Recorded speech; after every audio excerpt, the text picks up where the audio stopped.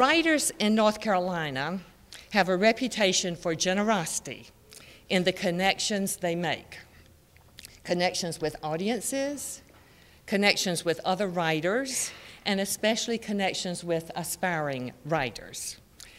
North Carolina's Poet Laureate position connects the writing community and the public, urging citizens from across the state to enjoy the written word.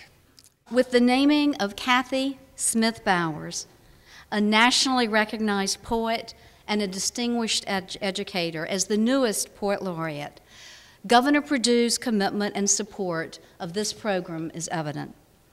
As we celebrate Cathy's induction today as Poet Laureate, we also want to say a very big thank you to Kathryn Stripling Byer for five wonderful and transformative years for us. Here's to the land of the longleaf pine, the summer land where the sun doth shine, where the weak grow strong and the strong grow great. Here's to down home, the old North State. Congratulations, Kay. So this is Winter Noon for Cathy, and it's set in Sylva, North Carolina, and it has it takes off from one of my favorite poems by Federico Garcia Lorca, Romance Sonámbulo. Verde que te quiero verde, green how I want you green. We've seen how stems snap, the leaves fall, the rain soaks, how ice weaves its blanket around weeds and garden.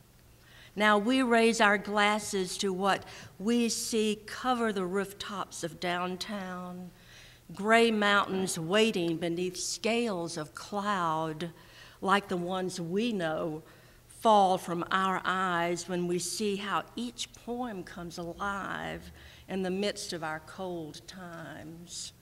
A small hook that yearns through the mute sod, our throats tight with keening, it's coming forth, the tip of our tongues against bedrock.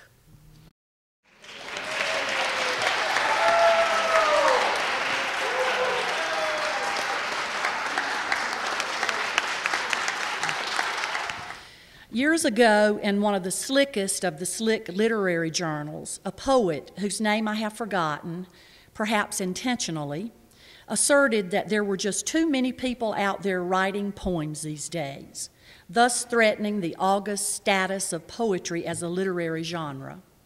I was astonished and thrilled when another poet countered that assertion insisting that in a country of 250 million people, there should be 250 million poets.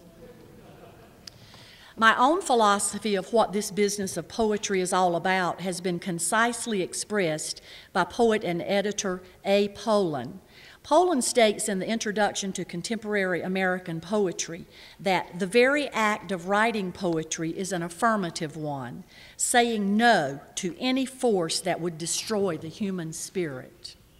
And Richard Hugo, in his amazing little classic, The Triggering Town, compassionately asserts it is possible for a good teacher to get from a student one poem or one story that far exceeds whatever hopes the student had.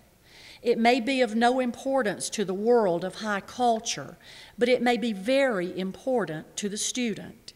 It is a small thing, but it's also small and wrong to forget or ignore lives that can use a single microscopic moment of personal triumph.